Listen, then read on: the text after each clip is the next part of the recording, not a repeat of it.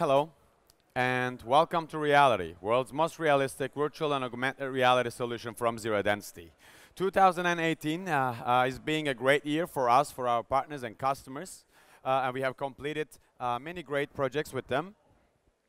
And so uh, this year at IBC, we have decided to showcase uh, what has been done with reality uh, by our partners customers. Uh, in this case, I'm standing in, uh, in a college hoop set designed uh, by Fox Sports. So we thank them very much for giving away their design so that we could use it at IBC.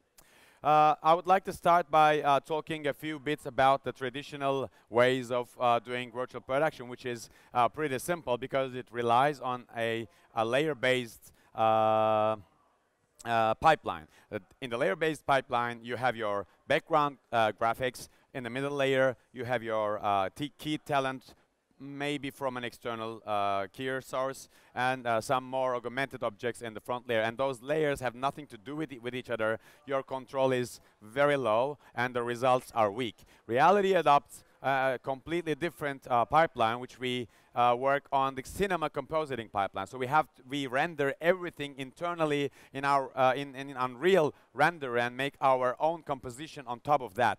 Uh, so in order to do that, we had to have our own uh, virtual production components. And one of the main components that we have is our keyer. Uh, Reality has a built-in internal keyer called Reality Keyer, which is a software-based GPU accelerated, high performance and high quality keyer that works in 3D space. So I said a lot of words for one keyer and I would like to uh, tell, uh, uh, describe them to you. I say high performance because what you're seeing at the moment is an end-to-end -end 4K production. Uh, so this is a, a, very high performance keyer. And I said high quality, but words uh, will not be enough uh, for me to describe that, so I will show you a few examples. Uh, Dado, my friend, uh, will zoom into my hair a little bit, maybe a little bit more, and focus on me so that you can see reality keyer in action. You could see all single and any single strand of my hair. So this is what, we, what reality keyer can uh, do for you. But take good notice because reality is right now showing two of its features at the moment. Uh, one, the keyer is active. Second, you see the depth of field uh, feature in effect. Now my friend Dado will focus back and forth myself and the graphics behind what we do here is we receive all, uh, all the data uh, from our tracking partner Stype here so that we can match the digital uh, uh depth of field to the optical depth of field so that uh, the audience get uh, the maximum realism. And we are showing, we are also showing here that even in an unideal condition, which is myself being out of focus, reality keyer is trying to do its best. So this is a very, very unique feature of reality. How do we handle the transparent objects?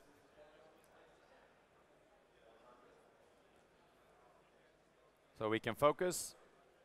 Yep.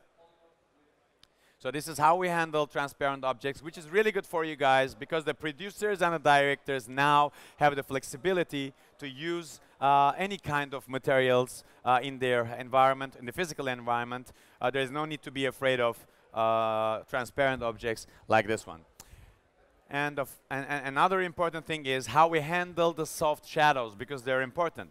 Dado will zoom out and uh, tilt down a little bit, and Umit, my friend, will switch back to the original uh, video that we received from the camera. If you look close enough, you will see that I am reflecting, uh, I'm sh uh, I cast shadows everywhere. Normal, we have a lot of lights. By the way, we allow to have the shadows because our keyer can handle it very nice. So uh, uh, Dado will zoom in a little bit so that uh, when the graphic comes, you can see how those shadows be used as contact shadows and nicely blended on the virtual floor so that myself, your talent, could look like he's walking on the floor. Otherwise, uh, he will, uh, if, you, if there's no soft shadows, he will look like he's floating around. Uh, not every keyer can handle soft shadows, so the people are really afraid of them because they don't look really good. So they turn, uh, turn it off by clipping their keyer, which is a big mistake uh, because clipping the keyer means you're losing valuable detail as well. So I wanted to show you three different uh, scenarios so that you can understand that reality keyer performs well in many, many conditions at the same time. That's important. I would like to do one uh, thing. I never did it before on air, so uh, uh, so let me do that. So can you bring the, the ball to the ball middle? Okay, can you uh, get wider? So what I'm doing right now is uh, there is a ball right in this area, and I'm holding uh, a sensor from HTC Vive to just get my position in the area. So that means I should be able to move behind this wall, come here, and automatically move around it. So again, this is something that is you may maybe not uh, use in on air with this sensor, but this is uh, for to show how flexible reality is. We can get uh, data from any source and apply our techniques for composition to be able to automatically uh, get around augmented objects. So that is pretty, pretty important. So let's get the ball back down. This design uh, was created to be a 360 environment, but we decided to extend it into the physical area so that we could show our augmented technologies along with our features. So I'm going to walk through the virtual area into the physical seamlessly. Again, this is a very unique reality feature bec uh, because we have an internally generated 3D mask techniques. I also told you that our keyer was 3D aware, but I'll come those two uh, a little bit later. First, I would like to show you our one of our coolest features, the portal window. So, the LED wall uh, screen behind me is fed by one of our engines that receives the same tracking data uh, like our main uh, augmented engine. So, what we what we do now what we do now is to turn this video wall into a screen, into a window to the rest of the set so you can see through. And of course, if you look close enough, when the camera moves, you will see that this graphic is moving, but you have to see it from your monitors because that's the audience angle, which is the camera's point of view. Okay, this is not the only thing. With video walls, we could actually make these items come into real by getting them out of the video wall, along with shadows and reflections and many other important features. Uh, I have another example so that you can monitor what is happening while the object is getting out. We're going to play a soccer player in slow motion, so check it out on your monitors, not here. You're not going to see anything here. Okay, so let's reset the soccer player and do it one more time. Let's get it out, and let's get slowly the guy out. Along with shadows that the soccer player is casting on our LED video screen. Let's get the guy out.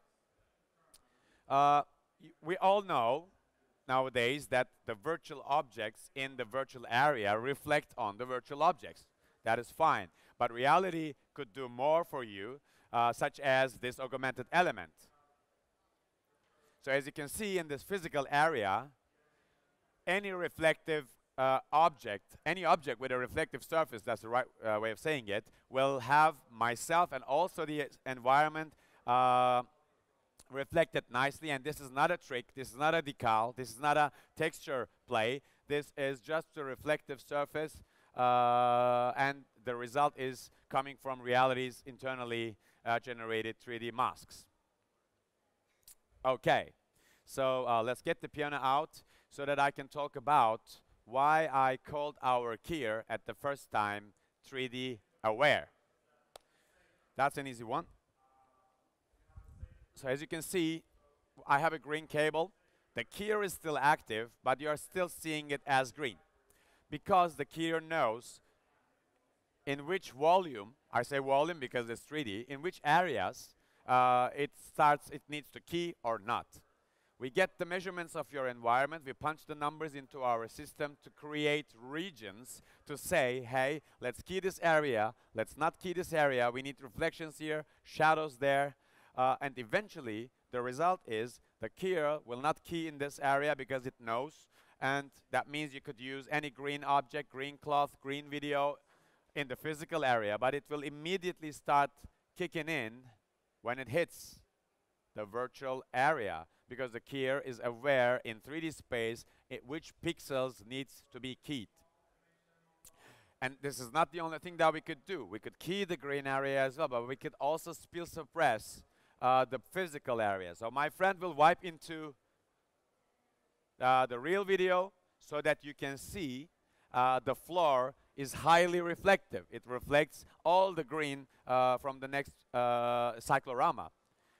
We define a specific region only for the spill suppression algorithms so that the result, when the graphics are applied, can we wipe to the graphics? When the graphics are applied, you don't see a single pixel of green in your studio in this hybrid production. In a nutshell, reality brings you the ultimate tools to create stunning virtual augmented productions, period. So this was reality. Thank you very much for watching.